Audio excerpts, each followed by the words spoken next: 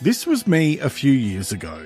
I mean, I wasn't a cartoon, but I was stressed about anything and everything, unable to find peace of mind.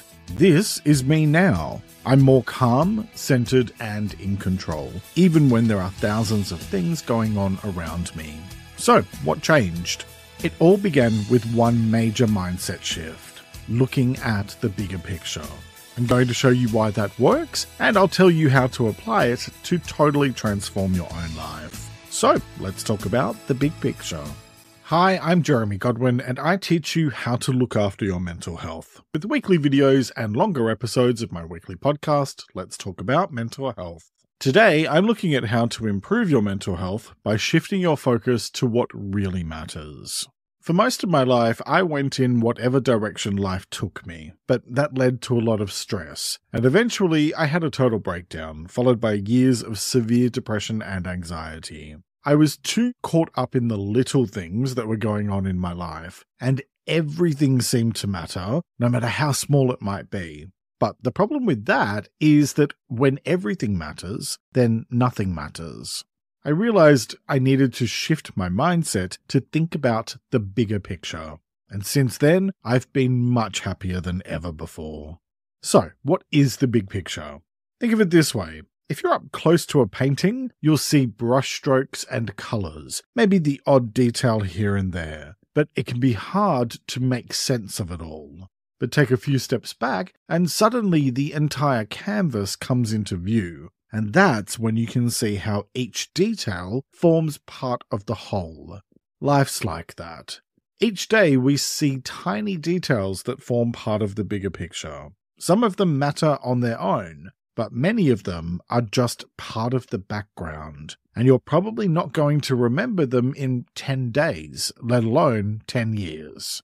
If we let ourselves get bogged down by all the minor details in life, like our train running late or that comment someone made on social media, then we lose sight of what really matters the big picture. Our plans, our dreams, our aspirations, who we are and who we are not, where we fit into in this world. All of that matters much more than the stuff we deal with every day. Someone cut you off in traffic? Okay, that's not great, but also not important. So let it go because when you do, you begin to find true peace of mind. So, how does focusing on the big picture improve your mental health? You are in control of your own destiny, and you can steer your life in any direction you want. You may not control every twist and turn you face, but you can definitely influence your journey, steering your course in ways that reflect your values and your goals. You can always shape your own journey by focusing on the big picture and not letting the little day to day things distract you from what really matters. Here are five simple ways to focus on the big picture, starting with reflect on your values and goals. What matters most to you in life? What are your long term goals? Thinking about these questions can help you understand your personal big picture and it can guide your decisions and actions.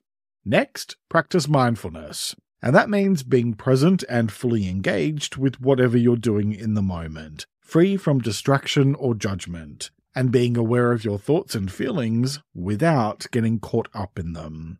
Mindfulness can help you become more in tune with your inner self and your place in the wider world.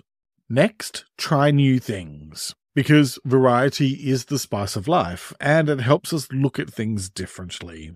Watch documentaries, read books, take up a new hobby. These are all opportunities to shift your perspective. Or you could explore types of music you wouldn't typically listen to. Or maybe learn a new language, which can give you insights into how another culture thinks about themselves and the wider world. Next, practice gratitude which simply involves taking the time to acknowledge what you're thankful for, and it can help you to appreciate your place in the world. It can be as simple as writing down a few things you're grateful for each day. It doesn't need to be complicated. Next, challenge yourself, learn new things, and push yourself to look at different viewpoints on topics. For example, instead of rejecting someone with opposing opinions or political beliefs than yours, try to understand where they're coming from and why. you don't have to agree with them. Generally speaking, talking with people who have different experiences, beliefs, and perspectives can be really eye opening. This could be as simple as having a deep conversation with a friend, attending a local community meeting, or joining a group online. So, what are you going to do today to shift your mindset? Let me know in the comments. And you'll find more tips for looking at the big picture in the latest episode of the Let's Talk About Mental Health podcast, and it's linked in the episode description. Thanks so much for joining me today. Take care and talk to you next time. Become a paid supporter on Spotify or Patreon for ad free content and early episode access. They're linked in the episode description. And for more tips to help you look after your mental health, watch this video next and subscribe to my channel for new videos every Sunday.